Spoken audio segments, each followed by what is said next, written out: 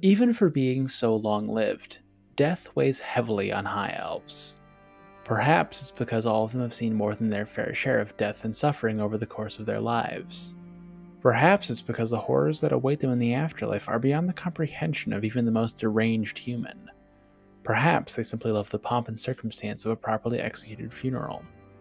No matter the reason, High Elves have created a variety of rituals and traditions surrounding death, regarding both the fate of the body and the fate of the soul with extreme concern. What happens to a High Elf's body after death depends on which kingdom the elf hails from.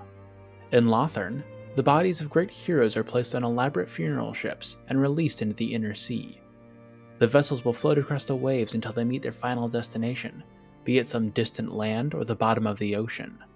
Cothique will also consign its dead to the waters, though they approach it from a different perspective. Rather than sending their deceased princes and mages out on ceremonial barges, all of the seafaring kingdom's dead are casually dumped into the churning waters of the great ocean. In addition to being a cheap, easy way to properly dispose of the dead, it also keeps the megalodons and leviathans of the surrounding waters well fed. This ensures that the monsters never stray far from Cothique's shorelines, and they will act as an unwitting layer of naval defense for the kingdom. Other High Elf realms shun burial at sea in favor of other practices. In Fiery Caledor, fallen elves are cremated to quickly free the spirit from the body. The elves of Ellyrion and Tiranoc are buried in marble and serpentinite tombs capable of holding entire generations of families. Individuals from these kingdoms are deeply connected to their homeland and life and see no reason to shatter these bonds in death. Avelorn also buries its dead, though the bodies are placed within vast subterranean mazes of jade and amber. Handmaidens of the Everqueen are reposed on ivory thrones within these labyrinths, their funeral garb rich beyond the dreams of even the greediest dwarf.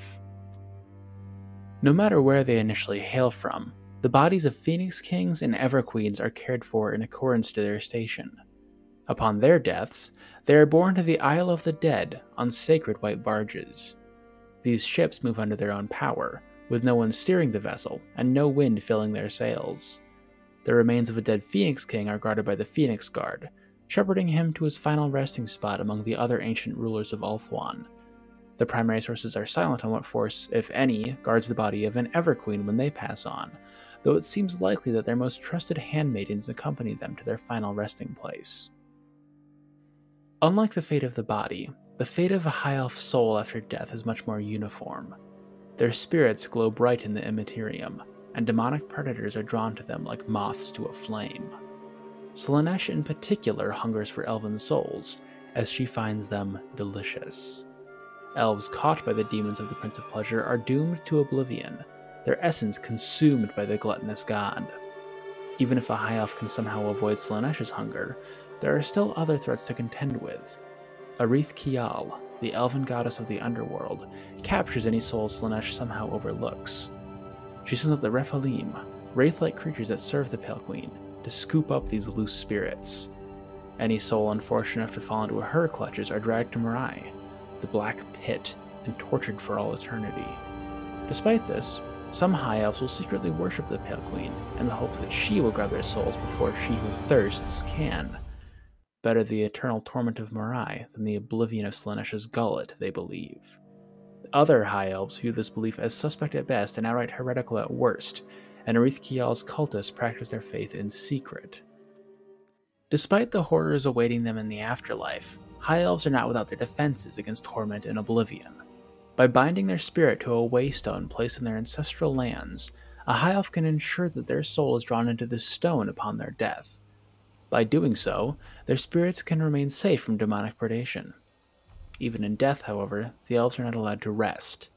Their essence fuels the ritual powering the Great Vortex, and the sounds of spiritual battle beyond mortal sight can be heard in the depths of night as the elven spirits fight an eternal war against the ghostly minions of chaos that dance along the winds of magic.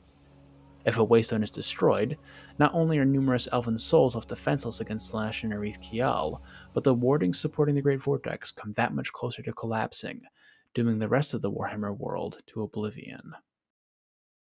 On that dour note, we come to the end of our overview of what happens to High Elves after death. Their Dark and Wood Elf cousins have a similarly unenviable afterlife, though those will be covered at a later date. Plus, it wouldn't be unfair to say that they deserve such a fate more than the High Elves, so those videos would be less of a bummer. Anyways, if you want to hear about that, then you should consider subscribing to the channel to be alerted of these videos when they come out. Hitting that little bell notification helps with that too. If it doesn't hold that much interest for you, you could still like and comment down below to boost the algorithm, just so you can help the video spread to other people.